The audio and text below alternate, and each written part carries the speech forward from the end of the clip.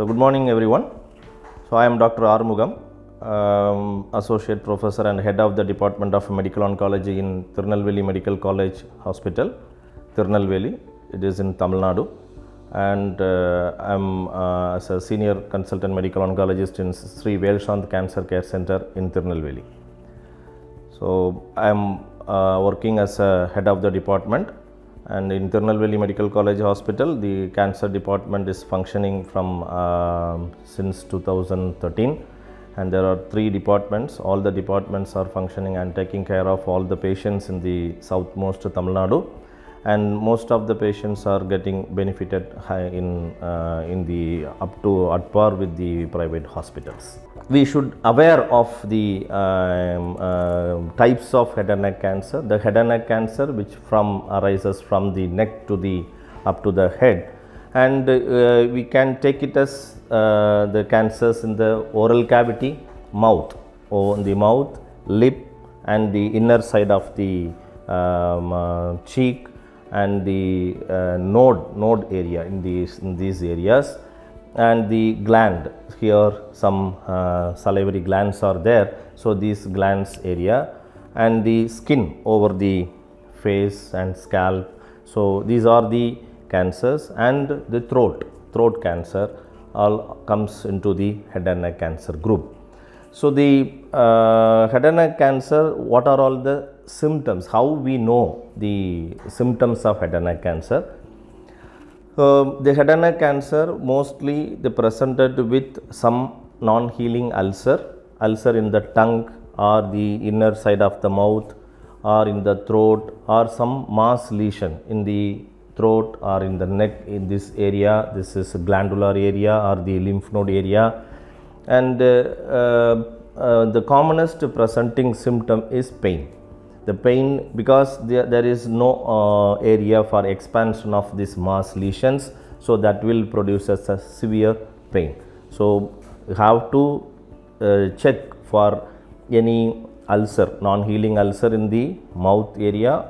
Buccal mucosa means that is uh, uh, the inner side of the cheek and the throat.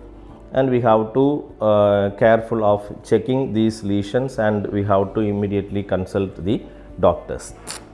Then um, how can we uh, diagnose and uh, uh, if there is an ulcer uh, or is there is if there is a mass lesion. So it, it should be diagnosed with biopsy. First initial investigation to confirm um, this is cancer, this uh, non-healing ulcer is a cancer or this swelling is a cancer. So what we have to do first? First thing we have to do biopsy. Biopsy is nothing but tissue test. Some we have to remove some part of tissue and that, that should be examined under microscope and we have to find out is there any cancer cells in this material. Without uh, doing this we can't say it is cancer. So this is the um, uh, so most of the uh, patients will ask without biopsy uh, can we diagnose? It's not possible. We can do some investigations like scan or pet scan or whatever thing we can say it may be cancer. But the cancer should be diagnosed with only histopathological examination. And some of the patients will ask if we are doing some biopsy it can it may get spread. No. It is a wrong belief. It will not spread after biopsy so, biopsy is the investigation of choice to confirm it is a cancer or not. Then we have to do um, um, images. Images means CT scan or other investigations like MRI. Even we can do PET scan. Before all these investigations and biopsy, the proper clinical examination by a doctor. So, if you have any non-healing ulcer or any swelling, what are all the symptoms I have told. So, if you have to consult a doctor, so the doctor should examine the site of the lesion. So, is it in the tongue or any, any area and we have some proper clinical examination and we have to uh, according to that clinical findings we can arrive it may be a cancer or or it may not be a cancer or it may not be a uh, cancer and some uh, ulcers due to some infection or anything. So, we have to give some treatment initially. So, in, after that initial treatment, if the uh, symptoms are not relieved, then we have to investigate further and that time we have to do all these investigations. Then how will you approach because of the depending upon the stage of the disease we have to go with the um, uh, approach means uh, the treatment aspect. So, what is what are all the stages? So, in general everyone knows that cancer has one four stages. Yes, the likewise in the head and neck also four stages are there, but uh, in the early stage, early stage we have to take it as a stage 1 and 2, it is confined to a part, particular part, then it is very easy to treat and it is completely curable on that stage.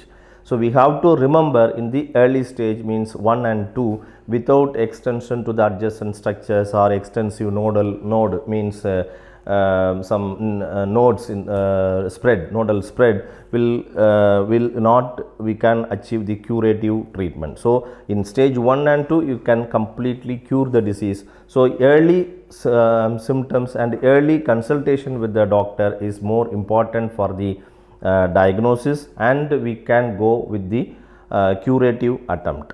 So, what are all the modalities of treatment are there? So, we have to um, we have to think uh, there are main three modalities mainly surgery, next radiotherapy and another treatment is chemotherapy. So, what is the mainstay of treatment in head and neck cancer? Mainstay of treatment is surgery.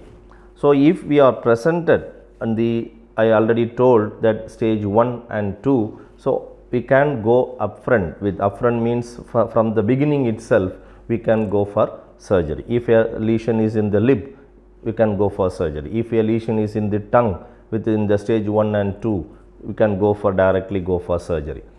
In a advanced stage means stage 3 or in a stage 4, we can downsize the tumor means you have to shrink the tumor with some modalities of treatment like radiation. Radiation means it is a uh, X-ray like uh, material that will uh, um, uh, shrink the tumor and we have to combine with the chemotherapy. Chemotherapy means it is a drug which kills the cancer cells.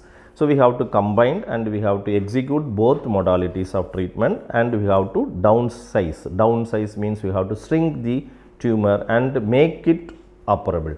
We can go for then we can make the patient under go for surgery.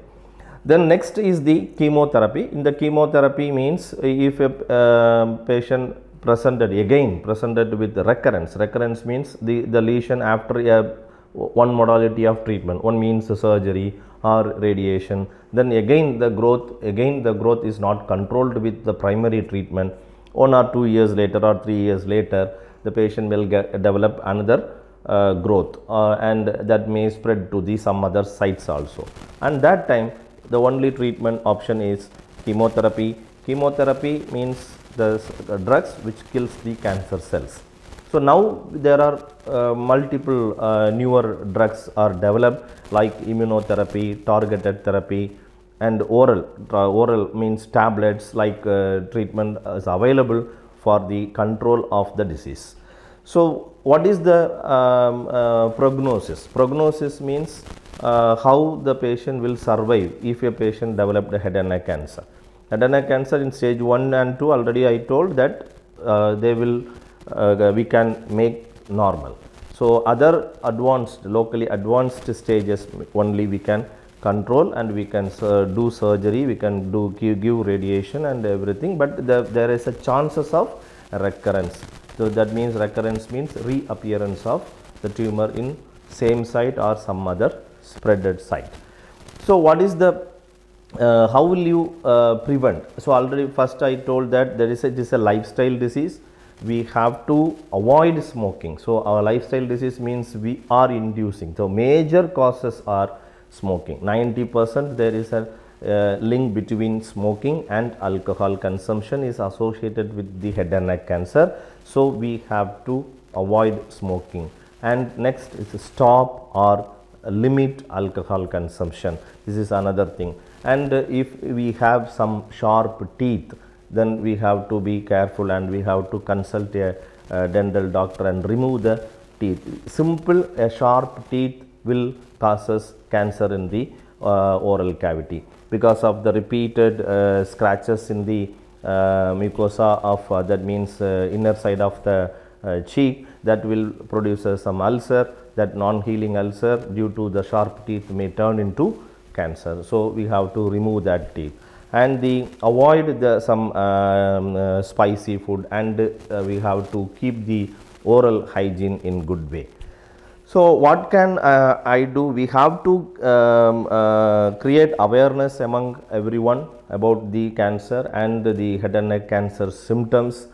So, uh, and it can be um, uh, uh, avoid uh, smoking and it can be we can if we quit smoking and alcohol consumption the head and neck cancers 80 percent cancers is reduced and another one risk factor for the head and neck cancer is infection the infection is hpv hpv uh, means it is a virus it is a sexually transmitted virus so that causes some infection that leads to some um, cancer in the head and neck area. So, that is also preventable. So, we have to uh, uh, have uh, safe uh, methods of sex and also we have to use some vaccine is available for the this HPV that will prevent one not only the uh, oral cavity or oropharyngeal cancer, it also prevent the cervical cancer. So, cervical means in the it is a part of the uterus. So, that cancer is also prevented with this HPV uh, vaccine. So, in the uh, prevention, how to prevent the head and neck cancer. So, I'll- first I already told that it is a lifestyle disease. So, uh, with the our own habits only uh, we are inducing this cancer. So, avoid smoking, completely stop smoking and the quit or limit alcohol consumption and we have to take care of the our oral hygiene. If we found any sharp teeth, so we have to take care with the dental uh, doctor and we have to remove it. And the avoid more spicy food, more hot food. And the uh, we have to create awareness among everyone for the um, head and neck cancer. And we have to um, uh, practice our um, uh, health in a, in a uh, good way. And health is wealth. In this month, the head and neck awareness month, I would like to um, participate the whole community for the creating awareness among everyone and we have to um, uh, practice good, good habit and we have to take care of our health. Thank you.